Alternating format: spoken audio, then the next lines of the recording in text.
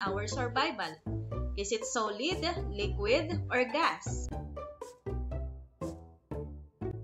As we can see here, most of the girls voted that gas is the most important in their everyday lives, while most of the boys voted that liquid is the most important. All your opinions are correct, but always remember class that all of them are important. Why? Because they are all component of our earth. If you destroy one of them, then our Mother Earth will not work properly.